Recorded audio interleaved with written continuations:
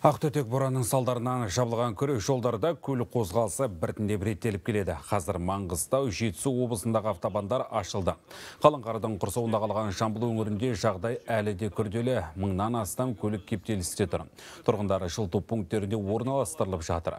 Жол аршу жұмысына жұмылдырылған арнайы бригада күшейтілген режимде көшті. Айналасы екі күннің ішінде автожолдарда құтқарылған мыңдаған адамның 300-ге жуығы бала.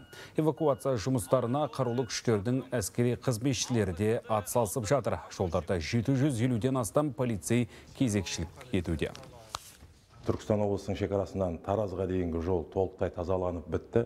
Бірақ ол жерлерде қозғалыс әзірге аша алмаймыз. Неге десеңіз, олардың ары қарай Түркістанға шығатын жол толығымен ашық емес. Және де Тараздан, Аспарадан Атарға дейінгі жолдар бүгін толығымен жабық.